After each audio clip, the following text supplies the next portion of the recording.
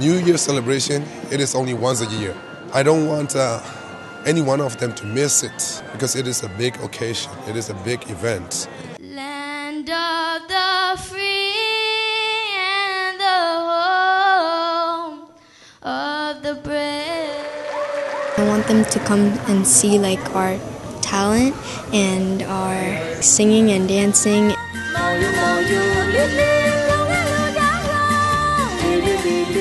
I like the most about Karen New Year, the performance that they dance and stuff.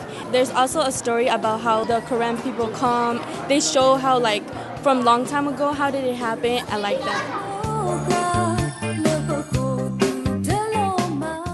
We come together, we see other other student performance and we come to remember our culture. I think it is important for the younger generation to see and experience the, the cultural celebration. You know, and that way they will be able to carry on the, the legacy, you know, to the next generation to come. What I want, especially the young people, to take away is that it doesn't matter wherever we are on the planet, we can always still be Karen, we can still always keep our identity alive.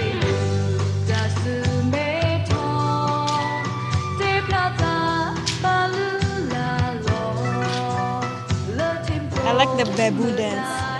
That is the best one for me. Seeing the bamboo dance. Yeah, I like all the dances. Like whenever it's like a culture New Year or something like that, I like seeing the dances most of the time, and I like eating all the food. yeah.